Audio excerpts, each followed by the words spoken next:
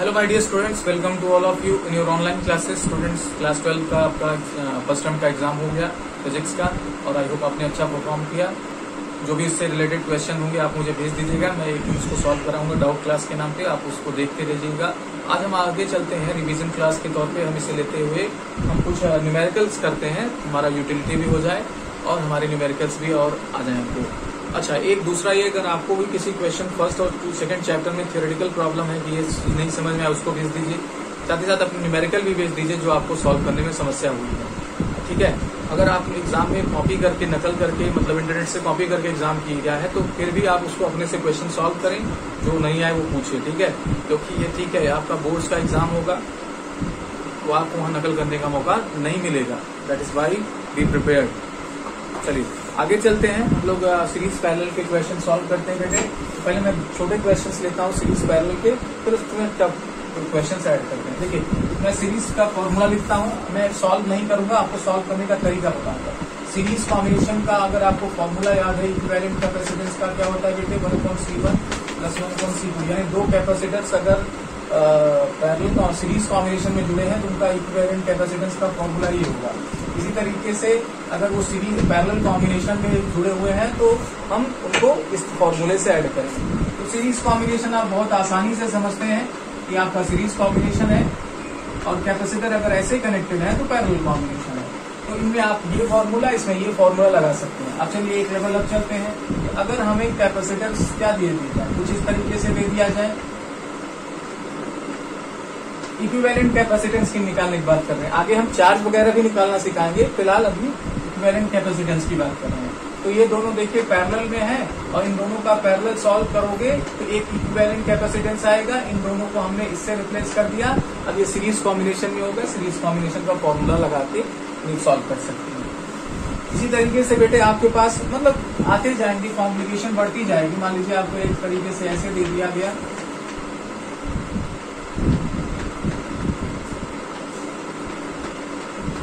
तो अब आप कैसे करेंगे बेटे? ये दोनों सीरीज़ में है, ये दोनों सीरीज़ में है, इन दोनों का सॉल्व करोगे, ठीक है, मान लीजिए वन आ गया तो ये हमने वन का इक्विवेलेंट लिख दिया, ये आपका दूसरा इक्विवेलेंट आ गया। क्योंकि सॉल्व करना मैंने आपको बताया है, ऐसा नहीं है कि सीरीज़ पैरेलल में वैल्यू रख के सॉल्व करना नहीं बताया बताया है। अब चूँकि हम चलना है तो शुरुआत से चलेंगे ताकि आपको समस्या न हो।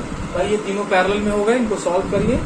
फॉर्मूला का यूज़ करके आपका वैल्यू आ जाएगा। अगर इसमें भी कहीं प्रॉब्लम है, फिर से पूछ रहा हूँ, आप बता दीजिएगा कि सर ये मैं क्वेश्चन नहीं सॉल्व करता सॉल्व कर पाता ये एक लेवल अब अब इससे ऊपर चलते हैं। अब क्वेश्चन आपसे घुमाएगा। अब क्वेश्चन आपको थोड़ा सा घुमाए अब, इसके आगे देखिए क्वेश्चन कैसे मतलब बढ़ते जाते हैं और कैसे इसमें सीरीज़ और पैरेलल का कॉन्सेप्ट और आता जाता है।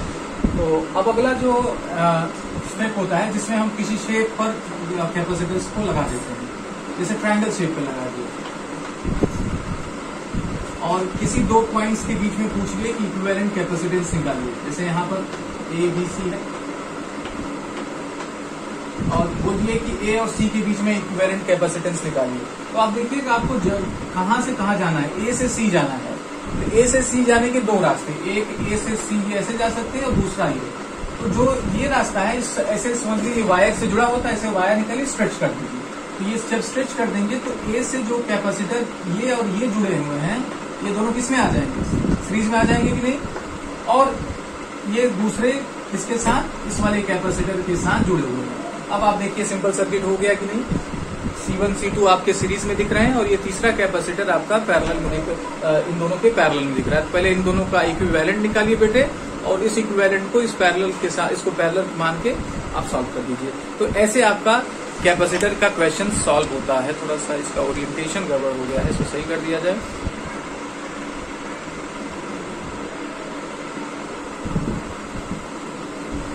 ठीक है, अब चलिए कुछ अच्छे क्वेश्चंस और भी करे जाए। तो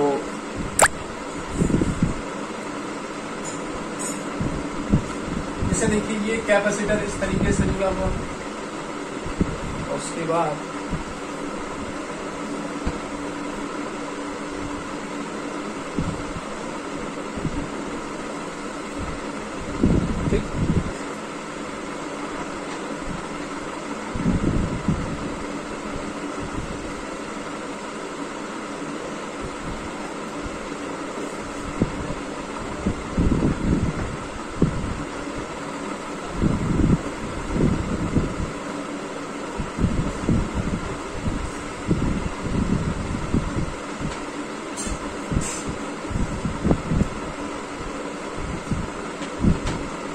ये कैपेसिटर का अरेंजमेंट है, ये 40 माइक्रोफैरड है, ये 60 माइक्रोफैरड है, और माय डियर स्टूडेंट्स ये 10 माइक्रो ये 10 10 के आपके कैपेसिटर जुड़े हुए हैं, और ये आपके 60 60 तो ये 60 माइक्रोफैरड ये भी 60 माइक्रोफैरड इस तरीके से कैपेसिटर का अरेंजमेंट दिया है और कह रहा है कि ए से बी के बीच में इक्विवेलेंट कैपेसिटेंस निकालिए। अच्छा क्वेश्चन है, इसको देखिए और सीरीज़ पैरल निकालिए कि सोचिए। तो जिन दो पॉइंट्स का ज़िक्र किया जाए क्वेश्चन है कि find the equivalent capacitance between A and B तो आप उस पर देखिए कि किस वे से जा सकते हैं। तो ए से जब निकले तो एक दो रास्ते हो गए। एक ये रास्ता हो गया, एक ये रास्ता। जब इस रास्ते पे आए तो यहाँ पे भी दो रास्ते मिल रहे हैं। ये दो रास्ते आपस में आके यहाँ पे मिल रहे हैं। तो अगर इन दोनों को देखें तो ये दोनों क्या हो जा रहे हैं? पैरेलल में हो जा रहे हैं कि नहीं? देखिए, इस इस प्लेट इस इस कैपेसिटर का ये प्लेट और ये प्लेट किसी एक पॉइंट से कनेक्टेड है? वहीं इसका दूसरा प्लेट इसका भी दूसरा प्लेट किसी एक पॉइंट से कनेक्टेड है। तो बताइए, कैसा होगा? पैरेलल में होगा।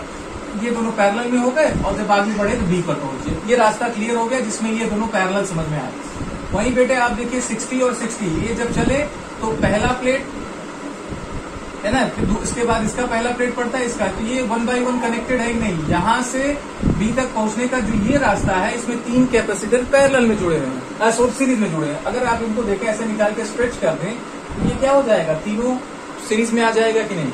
तो यानी ये दो पैरल में, ये तीन सीरीज़ में है। तो आप तीनों को पहले सीरीज़ वाले सॉल्व कर लीजिए, फिर पैरल वाले। या इसको चाहें तो और इजीली बना सकते हैं। कैसे बना सकते हैं बेटे?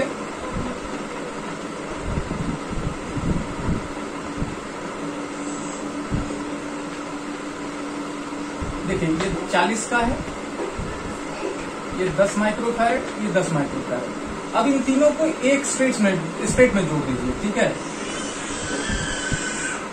एक यहाँ पर, एक यहाँ पर और एक यहाँ पर, ये वन टू थ्री और इसको आप किसी बी पॉइंट से कनेक्ट कर दीजिए बी पॉइंट अब आपको क्लियर समझ में आने लगा, है ना?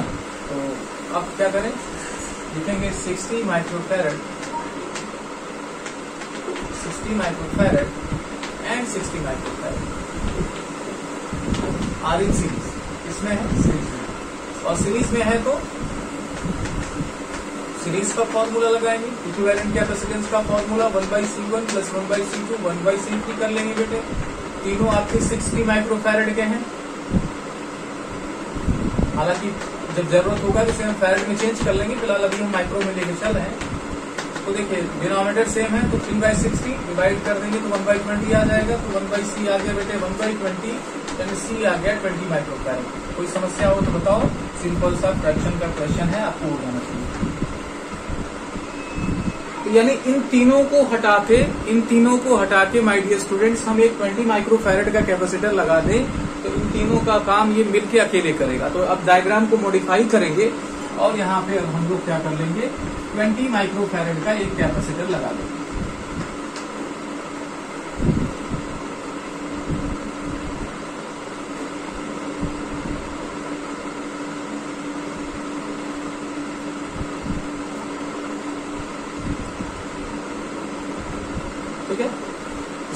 उतार लिए। अब इसका जो मॉडिफाइड डायग्राम होगा, वो क्या होगा? जरा फिर से देखते हैं। डायग्राम मॉडिफाई करते हैं। अब देखिए, जब आप यहाँ से चले तो एक रास्ता ये है जिसपे ये दो कैपेसिटर लगे हुए हैं, और एक रास्ता ये है। ये जो पॉइंट आप देख रहे हैं ना, ये वाला ये वाला। ये एक्चुअली अगर हम इसको ऐसे जोड़ के ऐसे भी कर दे तो बात सही है। सेम है, कोई दिक्कत नहीं है। तो अब देखिए, ये सर्किट ये कैपेसिटर ये कैपेसिटर और ये कैपेसिटर किसी एक पॉइंट से कनेक्टेड है सबके प्लेट्स क्या है? किसी एक पॉइंट से। भाई वायर अगर सेम है तो पॉइंट एक माना जाएगा। और दूसरा, सभी पॉइंट से जाके कनेक्टेड है तो ये तीनों आपस में क्या हो जाएँगे? पैरल में हो जाएँगे। तो यही आपका कैपेसिटर ऐसे हो जाएगा। ऐसे जुड़ जाएँगे। ये पॉइंट बी से कनेक्टेड है अब देखिए, ये 10 का था, ये भी 10 माइक्रोफैरेड का था, ये भी 10 माइक्रोफैरेड का, ये भी 20 माइक्रो ये 20 माइक्रोफैरेड का। तो इक्विवेलेंट कैपेसिटेंस के लिए आप कौन सा फॉर्मूला लगाएँगे? दोनों तीनों पैरेलल में है तो पैरेलल का formula C one C two plus C three solve कर देते हैं। तो 10 प्लस 10 प्लस 10 सॉरी 20 तो कितना हो जाएगा? 20 प्लस 20 40 40 माइक्रो फैरड आपके कैपेसिटेंस आएगी इनकी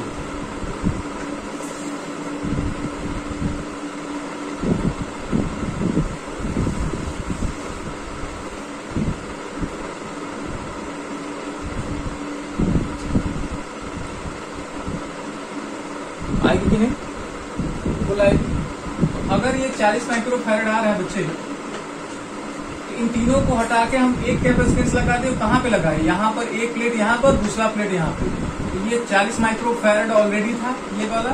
दूसरा एक 40 माइक्रो फैरड का लगा दिया तो ये ए और बी हो गया।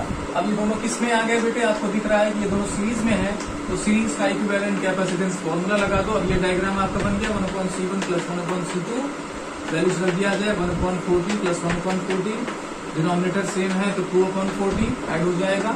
या दिया वन अपॉइंट ट्वेंटी तो सी की वैल्यू वन अपॉइंट सी की वैल्यू कितनी आ गई? ट्वेंटी तो सी की वैल्यू कितनी आ जाएगी बेटे?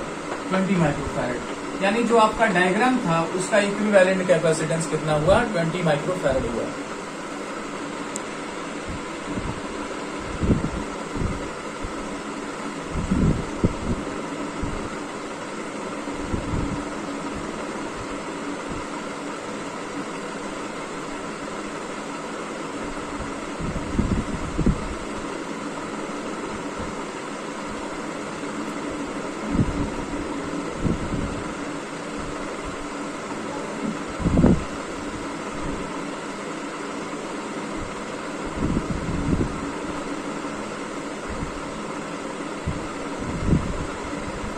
लिया लिखने के बाद इसको आप वीडियोस देखने के बाद इसको क्वेश्चंस कर लेना एग्ज़ाम में पूछेगा पूछा जा सकता है, पूछा गया भी अगला क्वेश्चन अगला क्वेश्चन हम कैपेसिटेंस का ही लेंगे इक्वेलेंट कैपेसिटेंस निकालने का। डायग्राम बनाते हैं। पहले ये आपके पास सपोज़ कर लीजिए, इस तरीके से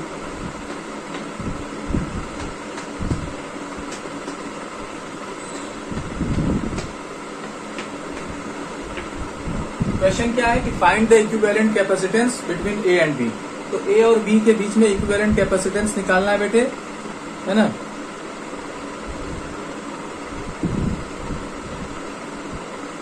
वैल्यूज़ ले लेते हैं इजी इजी वैल्यू ले लेते हैं। हालाँकि कोई भी वैल्यू दे, आप सॉल्व कर लीजिएगा। मान लीजिए मैं टू माइक्रो फैरेट सभी को ले रहा हूँ, ठीक है? क्योंकि अपने मन से क्वेश्चन डायग्राम बनाया हूँ। तो अभी मैंने इस पे वैल्यू नहीं लिखी, लेकिन एग्ज़ाम में कुछ भी पूछे, आप बस सॉल्व करने का तरीका जानते रहिए वैल्यू तो अपना बदलता रहता है। तो आपको ए और बी के बीच में इक्विवेलेंट कैपेसिटेंस निकालना है तो देखिए ए और बी आप कैसे जा सकते हैं? एक तो ये रास्ता है, दूसरा आप घूम के ऐसे आए मतलब ऐसे। है ना? तो अब जब आप यहाँ से आगे बढ़ेंगे तो ये तीनों कैपेसिटेंस आपको कैसे समझ में आए? बताइए। एक वायर है वायर से जुड़े हुए बेटे, ये यहाँ से निकालिए और स्ट्रेच कर दीजिए। तो ये दो माइक्रोफैरेड ये दो माइक्रोफैरेड ये दो माइक्रोफैरेड किसमें समझ में आएँगे? सीरीज़ में आएँगे कि नहीं? देखिए इसका पहला प्लेट कनेक्टेड है यहाँ पे, दूसरा प्लेट इसके पहले प्लेट से कनेक्टेड है, इसका दूसरा इसके इस प्लेट से कनेक्टेड है। दैट इज़ वाई ये किस कॉम्बिनेशन में बोला जा सकता है?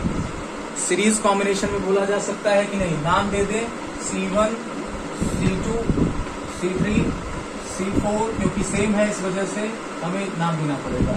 तो C four comma C five and C six are in series तो सीरीज़ है तो सीरीज़ कॉम्बिनेशन का फॉर्मूला लगा दे बेटे। One upon C is equal to one upon C one plus one upon C two plus one upon C three सबकी value two है two micro farad तो टू ही टू में ही रख देते हैं। जब क्वेश्चन में हमें क्या कहे कि फैरेड में कन्वर्ट करना है तो फैरेड में कन्वर्ट करना भी सीखिए। अब तीनों के डिनोमिनेटर सेम है न्यूमरेटर ऐड हो जाएँगे three by two micro farad one upon C is equal to आ गया थ्री माइक्रो फैरेड यानी सी इज़ इक्वल टू कितना आ जाएगा बेटे? Two by three micro farad आया समझ में? इसका क्या मतलब है? कि C four C five C six को रिमूव करके हम two by three micro farad का अगर कैपेसिटर लगा देते हैं तो ये तीनों का काम एक साथ करेगा। तो अगला मॉडिफाइड क्या सर्किट होगा आपके पास? ये होगा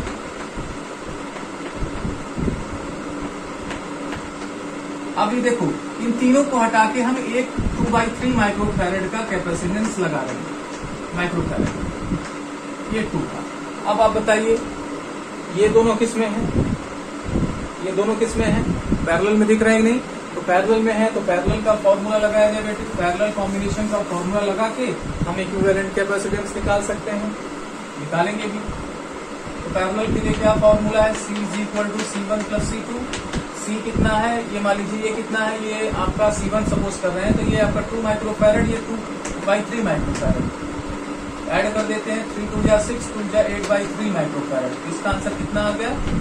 Eight by three microfarad note करते चलिए नोट करते चलिए। आसानी से नहीं होने वाला। यानी इन दोनों कैपेसिटेंस को हटा के हम 8 बाई थ्री माइक्रो माइक्रोफैरड का कैपेसिटेंस लगा सकते हैं। ये टू ये टू, ये एट बाई थ्री सब माइक्रोफैरड्स में याद रखिए, है ना? ये अब आ क्या मॉडिफाइड फाइनली सर्किट अब आपको ए से बी पर जाना है, एक ही रास्ता दिख रहा है तो ये देखिए, है ना? जब ये खत्म हो रहा है तो इसका शुरुआत हो जा रहा है, ये खत्म हो रहा है तो इसका शुरुआत. अगर मैं इसको ऐसे पकड़ के से खींच दूँ तो ये तीनों सीरीज़ में हो जाएँगे कि नहीं? और सीरीज़ में हो गए तो सीरीज़ का फॉर्मूला लगाना पड़ेगा one upon C one plus one upon C two plus one upon C three values देख लीजिए सी वन की वैल्यू इसकी वैल्यू टू है इसकी वैल्यू एट बाई थ्री है और इसकी वैल्यू टू है है ना? अब इसको सॉल्व करेंगे। और वैल्यूज़ फाइंड करेंगे।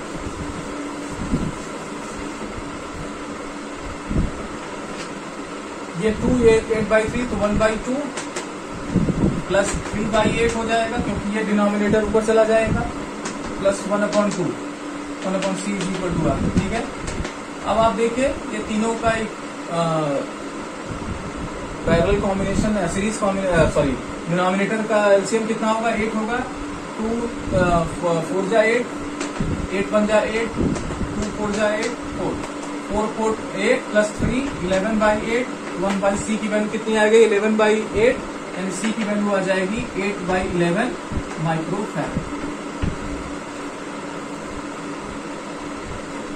In this way, we can solve the numericals based on the series parallel combination of the capacitor. अभी हम लोग इसमें और एक लेवल अप करेंगे जब हम लोग उसके अलग अलग पार्ट पर पोटेंशियल और क्या चार्जेस की कैलकुलेशन करेंगे। आई होप आपको आज का जो कैलकुलेशन है वो समझ में आया। आपके अगर सीरीज़ पैरेलल के क्वेश्चन हैं तो उसको भेजिए। और नहीं आए तो उसको हम सॉल्व करेंगे। ठीक है? ताकि आपका एग्ज़ाम बेटे आगे चल के अच्छा जाए। और अगर एक बार आपने सीरीज़ पैरेलल यहाँ समझ लिया तो आपको रेजिस्टेंस में भी सीरीज़ पैरेलल समझ में आएगा माय डियर स्टूडेंट्स को कोई समस्या वहाँ पर नहीं होगी। ठीक है? क्योंकि यहाँ पर कैपेसिटर को हटा के अगर हम रेजिस्टेंस लगा दें तो कॉम्बिनेशन तो सेम है हाँ उनके फॉर्मूले इंटरचेंज होते हैं। कैसे होते हैं, ये सब डिस्कस किया हुआ है। ठीक है बेटे? तो आज के लिए इतना ही, उम्मीद करता हूँ आपको न्यूमेरिकल समझ में आए। समझ में आए तो बेटे, लिखिए कॉपी पर नोट्स बनाइए और जब भी होमवर्क दिया जाए, उसे होमवर्क की सेपरेट कॉपी में रखिएगा। यही आपके इंटरनल असेसमेंट का पार्ट होगा, क्योंकि आगे चल के आपको मैं रिप्रेजेंट करूँगा कि ये मेरा बच्चा है, मेरा स्टूडेंट है, इसने ये होमवर्क किया हुआ है, इसको इतना नंबर दीजिए। ठीक है तो आगे आपके होमवर्क का बहुत बड़ा पार्ट होगा, इसलिए जब भी होमवर्क दिया जाए, उसको डेट वाइज अपनी एक अलग कॉपी में लिखते चलिए। पहले मैंने इसलिए नहीं बोला कि लॉकडाउन था, मुश्किल था, घर में बैठे थे तो कॉपी निकलने के लिए मैं आपको रिस्क नहीं देता, लेकिन अब सभी नॉर्मल हैं तो कॉपी ले लीजिए होमवर्क के लिए और सब आप होमवर्क लिखते चलिए। आज से लिखिए, लेकिन अब, आज लास्ट डेट है, इसके बाद मैं डेट नहीं कंसिडर करूँगा ओके चलिए आज के इतना ही। Thank you very much